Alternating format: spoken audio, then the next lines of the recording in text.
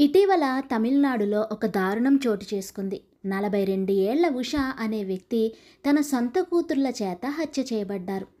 అసలు విషయంలోకి వెళ్తే ఓపెన్ యూనివర్సిటీలో పనిచేసిన ఉష తన ఇద్దరు కూతుర్లతో కలిసి కేటీసీ నగర్లోని పాలయం కొట్టైలో ఉంటారు. ఆ ఇద్దరు కూతుర్ల వయసు ఇరవై సంవత్సరాలు పైనే ఉంటుంది. వారి పేర్లు నీనా రీనా అని సమాచారం. ఉష భర్త వారిని వదిలేసి వెళ్ళిపోయారు. ఉష ట్యూషన్స్ చెప్తూ ఉంటారు. ఈ మంగళవారం రోజు అసలు ఇంట్లో నుండి బయటకు రాకపోవడాన్ని స్థానికులు గమనించారు. అంతేకాకుండా కిటికీలు కూడా మూసి ఉన్నాయి. తర్వాత ఆ ఇద్దరు అమ్మాయిలలో నుంచి ఒక అమ్మాయి బయటికి వచ్చి ఉషా చనిపోయారు అని చెప్పింది.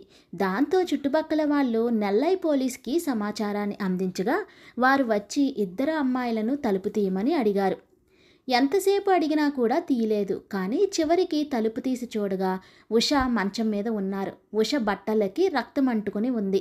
ఆ అమ్మాయిలు ఉష మృతదేహం పక్కనే కూర్చొని ఒక బొమ్మ పెట్టుకొని ఉష రక్తాన్ని ఆ బొమ్మకి పూస్తూ ఆడుకుంటున్నారు.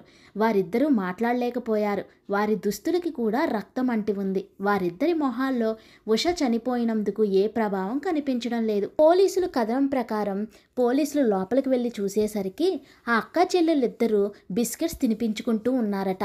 వారిద్దరిని పోలీసులు కస్టడీలోకి తీసుకున్నారు. మృతదేహాన్ని అటాప్సీకి పంపించారు.